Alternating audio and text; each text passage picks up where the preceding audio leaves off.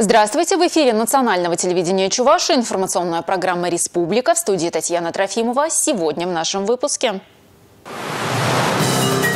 Национальный проект в действии. На двух столичных предприятиях поднимают производительность труда и решают вопросы занятости.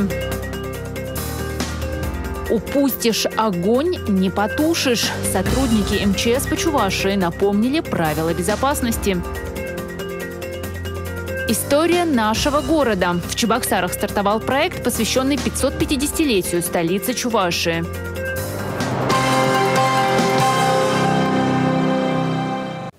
Предприятие «Сеспель» Чебоксарский завод силовых агрегатов – первые участники национального проекта «Производительность труда и поддержка занятости».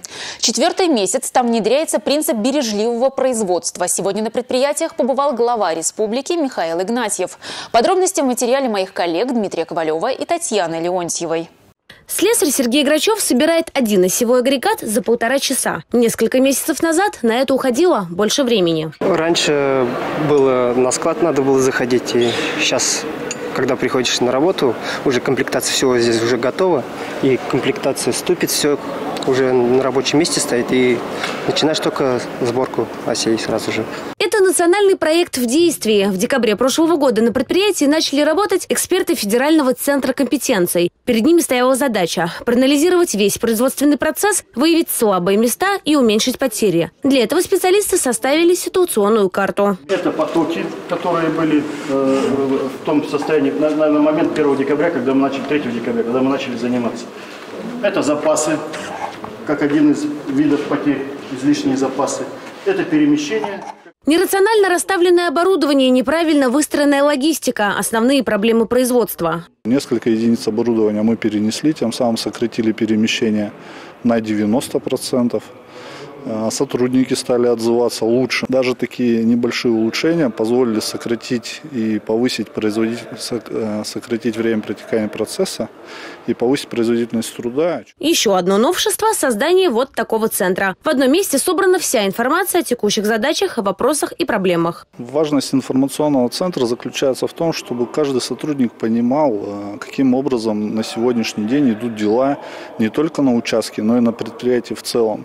Что он должен понимать, что выполнение его сменного задания влияет на успех предприятия. Сотрудники предприятия прошли обучение. Результат проделанной работы уже есть. Сейчас вышли на производство пяти осевых агрегатов э, в сутки.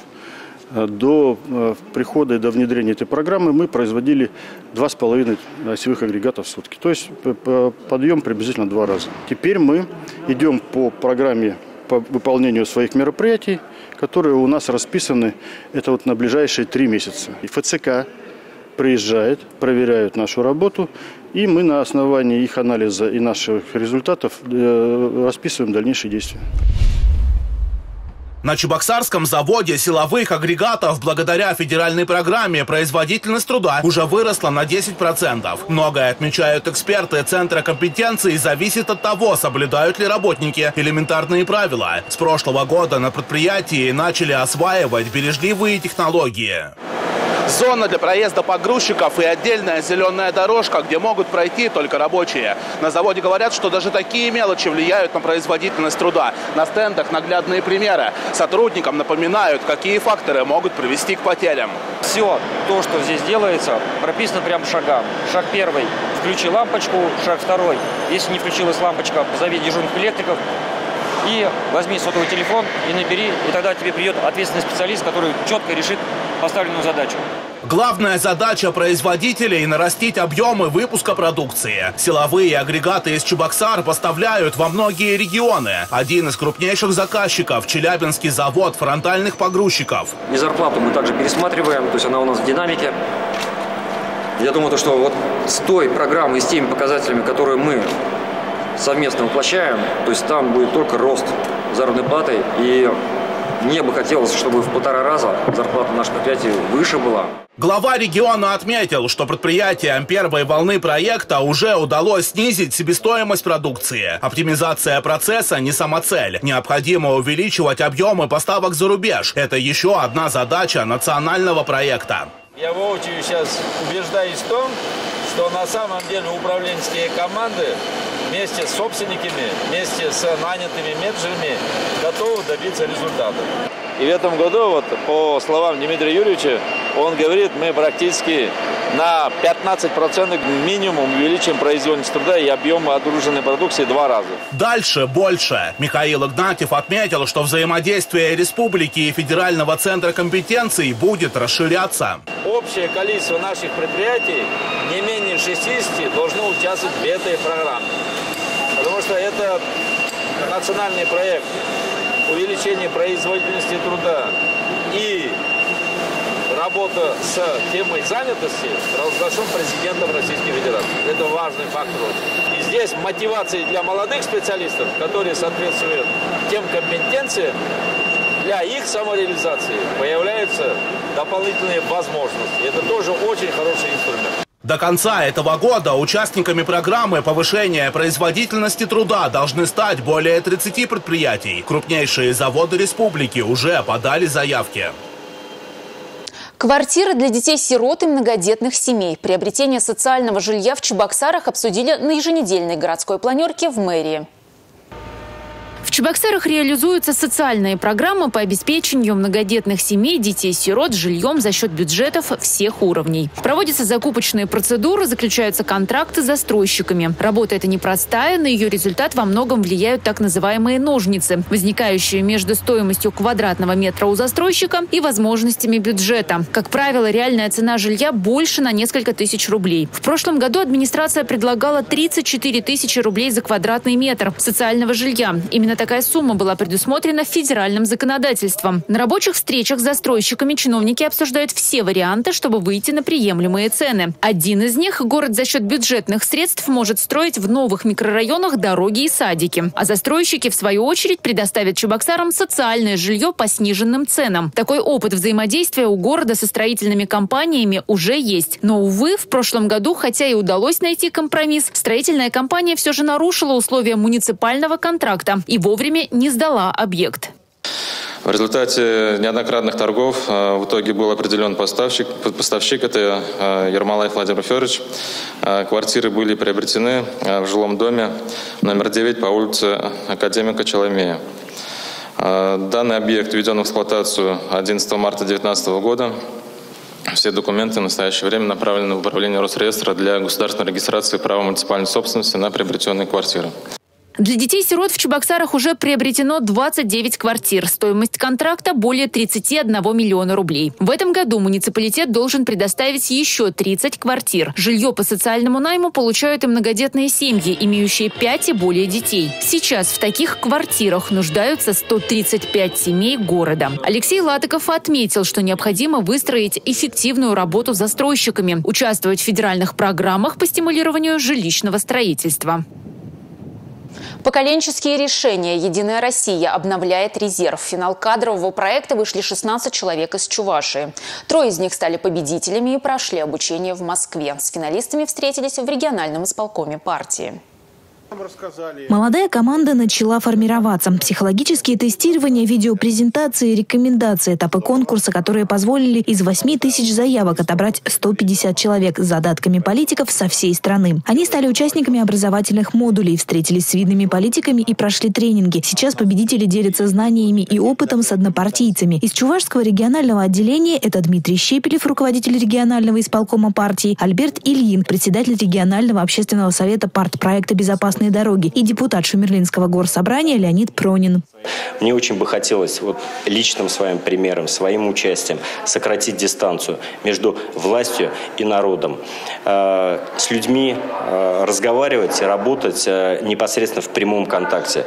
Почему на это обращаю внимание? Потому что политическая деятельность, она крайне-крайне, она на самом деле многогранна.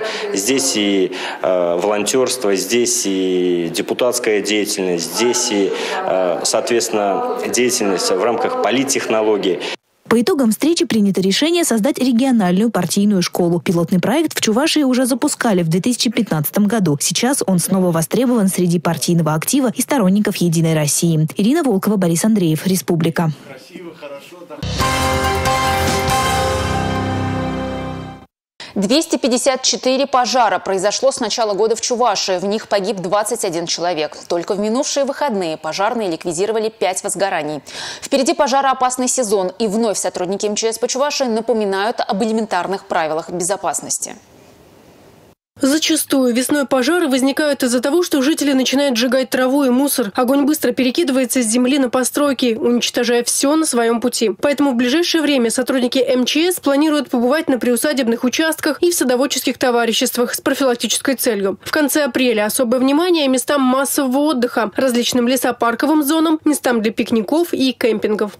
Пока окончательно не сошел лед, беспокойство вызывают ретивые рыбаки, которым все нипочем. Любителей подледной рыбалки можно встретить и на Волге, и на Суре. Из 16 водных участков, где зимой можно было ловить рыбу, осталось 9. Но и их к концу следующей недели закроют. Что касается паводка, то сегодня средняя высота снежного покрова по всей республике составляет 34 сантиметра, что выше нормы на 9 сантиметров. Синоптики обещают, активное снеготаяние начнется уже в конце этой недели. По прогнозам, паводок ожидается спокойным.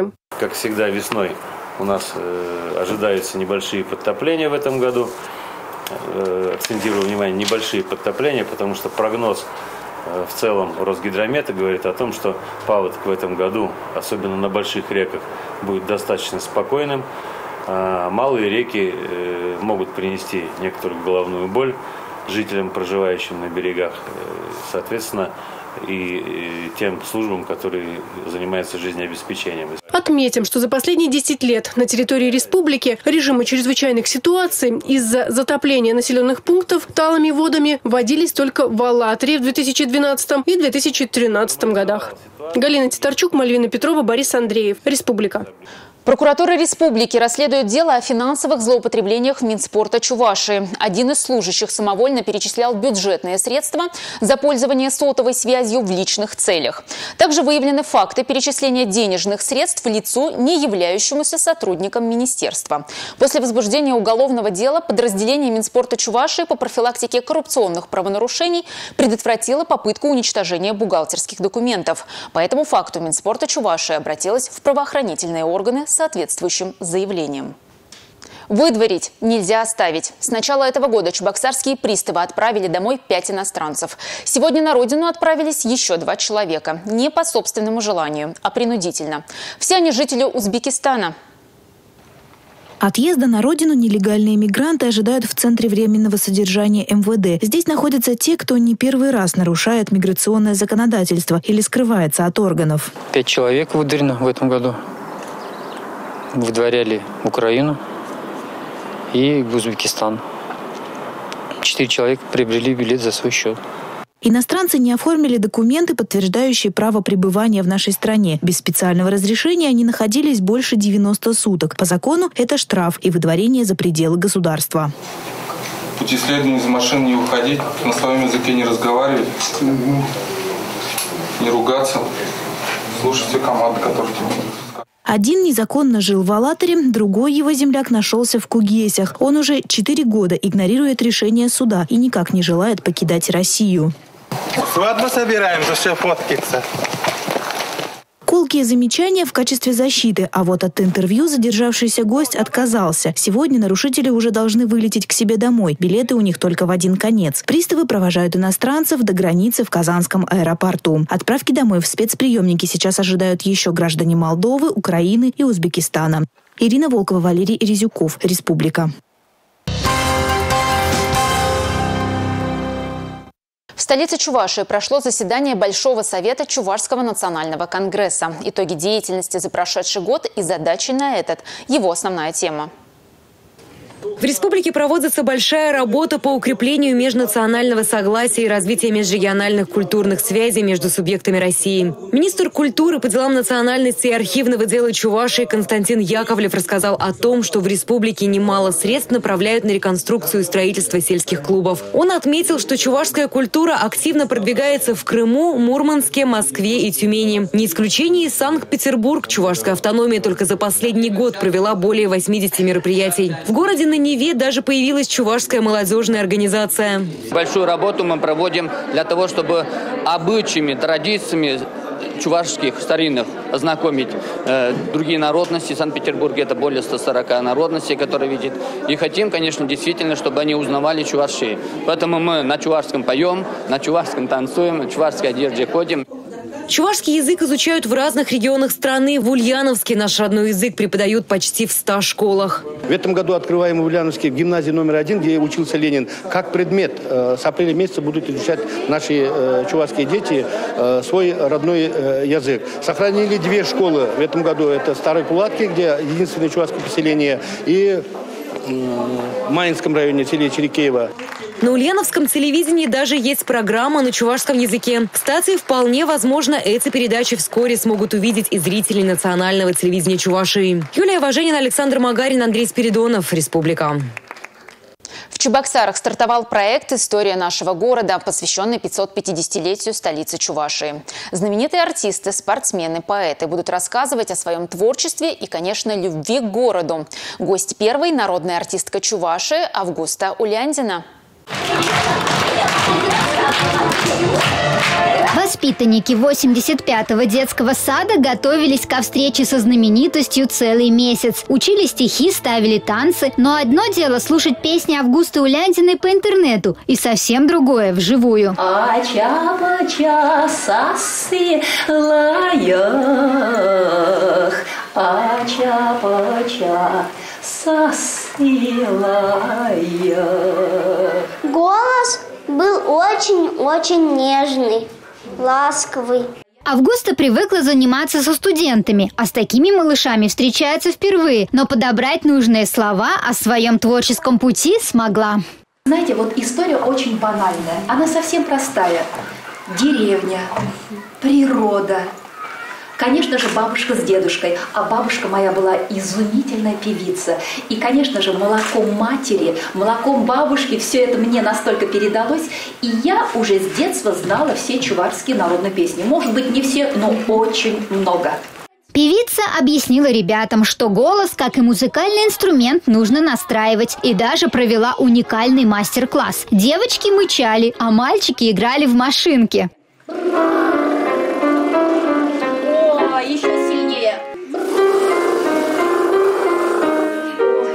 А еще за считанные минуты Августа разучила с ребятами танец и, конечно, вдохновила на творчество. Артист быть хорошо, потому, потому что тебе, тебе все радуют. Ты знаменитый, ты хороший. И все о тебе знают. Я когда вырасту, хочу стать модницей, что примерять всякие платья. И сегодня мне понравилась певица со своим нарядом – то, что она украшает сама. Стелла «Я люблю Чебоксары» – символ юбилея столицы. И, конечно, мы спросили гостю, за что она любит наш город. За то, что я здесь родилась, состоялась. Люди здесь достойные, самые лучшие. И сам город очень красивый, родной, теплый. Мария Шоклева и Андрей Шоклев. Республика.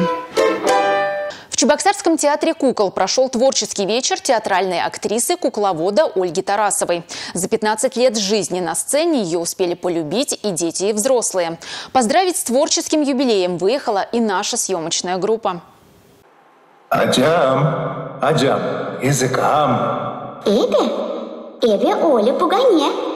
Теперь я действительно кукла, со сцены призналась Ольга Тарасова. Ощущение тождественности пришло к актрисе спустя 15 лет работы кукловодом. Каждую роль она не просто исполняет, она ее проживает. Зачем тебе такие санки?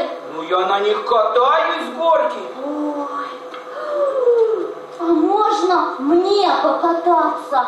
Конечно. Ольга Тарасова дебютировала сразу в роли царицы в постановке «Царевна лягушка». Очень удобно, ведь удел молодых актеров – это немногословные животные, а то и вовсе неодушевленные предметы. Затем были спектакли «Кот в сапогах», «Муха-цокотуха». Всего она сыграла 80 персонажей. Муха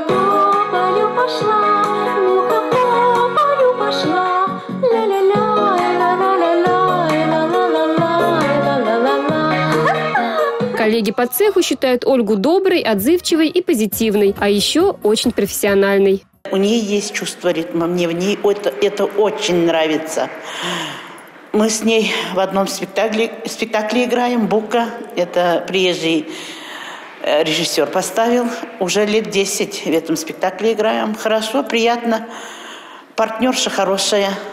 Какая в жизни, такая и на сцене. Театральной актрисе удается каждая роль. Исполнение Ольги Тарасовой запоминается и завораживает, а куклы в ее руках оживают.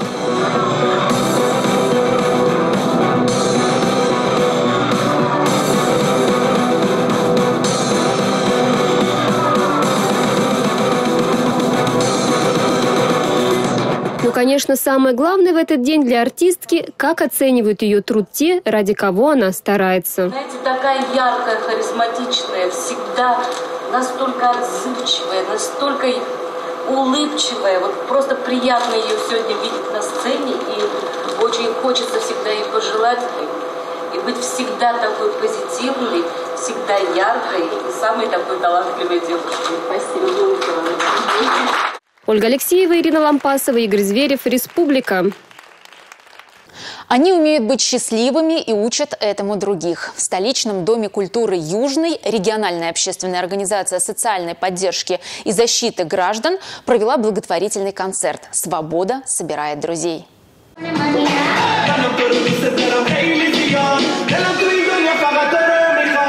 Концерт получил и второе название – День счастья. Международный день счастья – это один из самых светлых и добрых праздников. Это день улыбок, объятий, поцелуев, отличного настроения и веры во все хорошее. Люди стараются сделать друг для друга что-то приятное и помочь тем, кому это необходимо. Наша основная цель – это подтолкнуть ребят к самореализации, к действию, чтобы они сами стали кузнецами своего счастья. И вот все наши мероприятия на это направлены.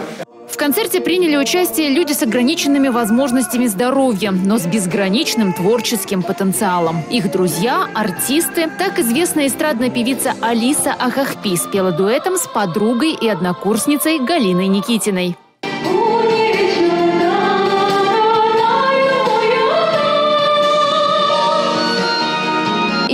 Хочется, чтобы вот не только друзья меня поддерживали, а именно поддерживать друзей как-то.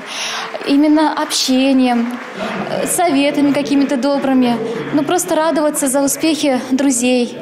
Как говорят, если ты будешь относиться к людям с душой, то и к тебе также будут, будут относиться. И вот мне очень хочется быть полезной людям, как-то помогать. Галя – это пример для меня и для многих людей. Вот всегда, когда мне тяжело, да, что-то не получается, какие-то проблемы, преграды в жизни, я всегда вспоминаю на мою дорогую Галю.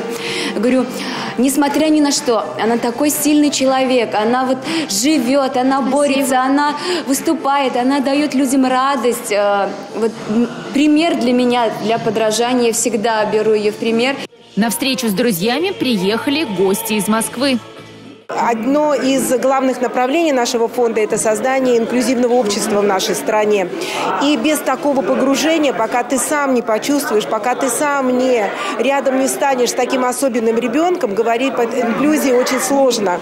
Поэтому здорово, что в Чебоксарах есть такой проект – Здорово, что есть такая общественная организация, и которая объединяет разных людей.